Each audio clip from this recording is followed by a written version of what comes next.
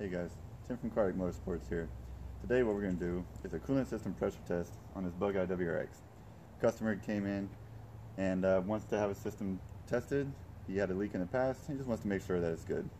So with the proper tools, we're going to pressurize the system and try to find any leaks.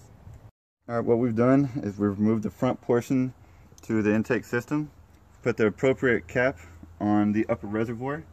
Now we're using our pump with a gauge on it to pressurize the system. And what this is doing is it's simulating your vehicle being hot. As it, the coolant gets hot, the system expands. Right? So that pressure is what's going to cause your system to leak while you're driving. All right, so this allows us to check while the car is cool.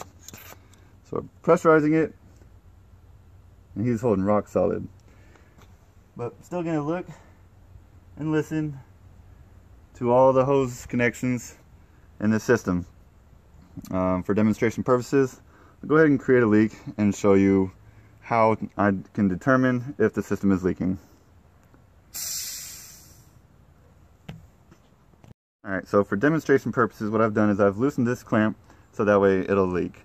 So what I'm gonna do is, let's say I initially pressurize the system and I can either see the needle drop or I can hear a hissing or I can see a wet spot. That's how I can determine if it's leaking.